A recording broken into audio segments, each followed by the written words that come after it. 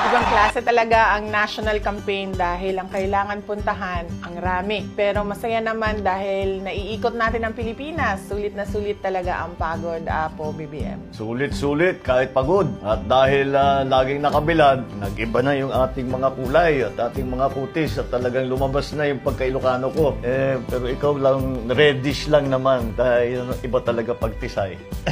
Ako, sunog na rin po, pero ini-enjoy ko yung ah, brown look ko ngayon. Hindi na nga raw po tayo uniteam ang tawag, kundi umiteam. Sari-sari mga placards na sariling gawa ng mga supporters ang bumubungad sa inyong mga rally. Ano-ano ang mga nakasulat sa paborito ninyong placard?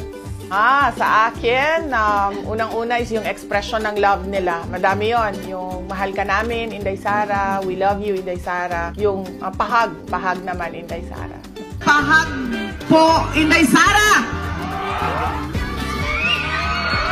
It inspires me to do more dito sa campaign na ito. Napaka warm ang ah, pag, ah, pagtanggap sa amin pagka nakikita mo na ngayon, mahal ka namin, tutulungan kayo namin, ah, keep going, yung mga ganon.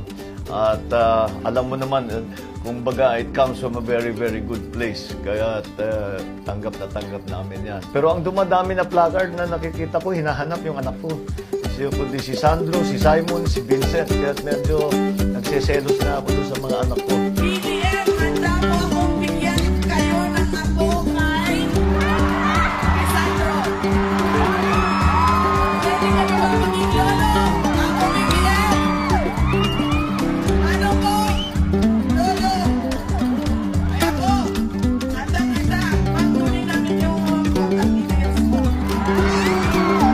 Napaka-witty talaga ng mga Pilipino. Isa sa paborito natin na nakita natin yung last, yung Bulacan ain't pink, yo.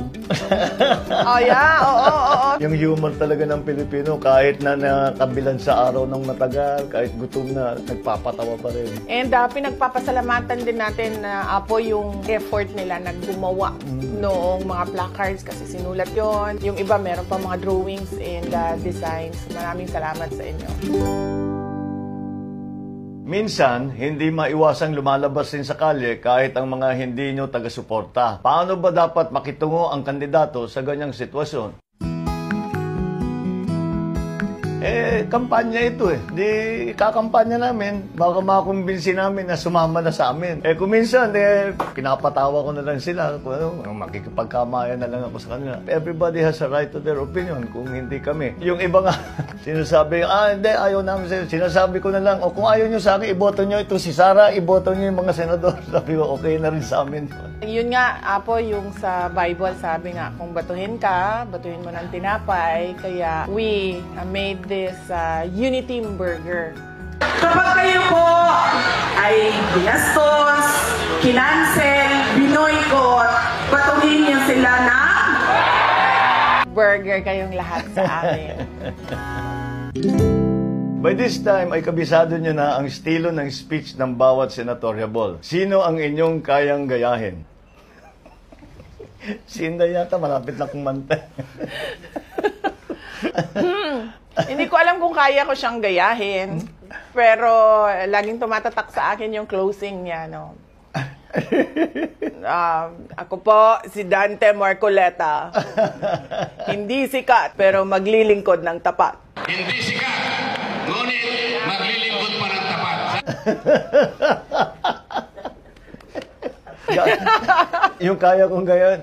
Ang mga tiga rito ay hindi... ang mga taga Nueva Ecija ay hindi